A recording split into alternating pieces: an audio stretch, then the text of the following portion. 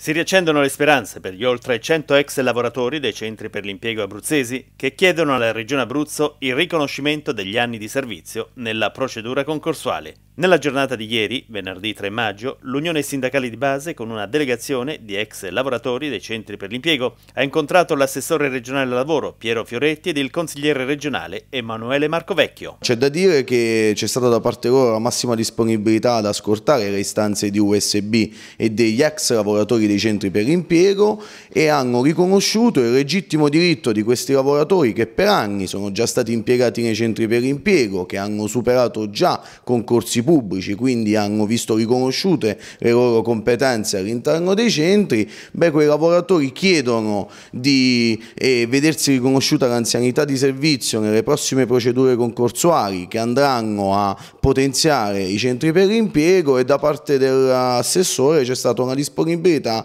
ad ascoltare questa richiesta. Ora vedremo se questa disponibilità si eh, traduce in fatti concreti. Un'apertura da parte della Regione Abruzzo che voi auspicate possa essere intrapresa anche da parte di altri enti regionali di tutta Italia? Sì, purtroppo la condizione dei centri per l'impiego in tutta Italia è molto frammentata, molti lavoratori con condizioni di lavoro eh, difficili e con datori di lavoro diversi. Noi crediamo che vada, vada uniformata la procedura di selezione del personale in tutta Italia e auspichiamo che anche in altre regioni si proceda come la Regione Abruzzo ci è sembrata intenzionata a fare, ovvero riconoscendo l'anzianità di servizio a chi ha già lavorato nei centri. Piace voi che vedete tempi brevi, eh, si può ipotizzare un termine così sommario? Ma i tempi sono brevissimi perché già mm, in estate molto probabilmente verrà bandita la prima procedura concorsuale per i primi posti, quindi crediamo che già da, questa,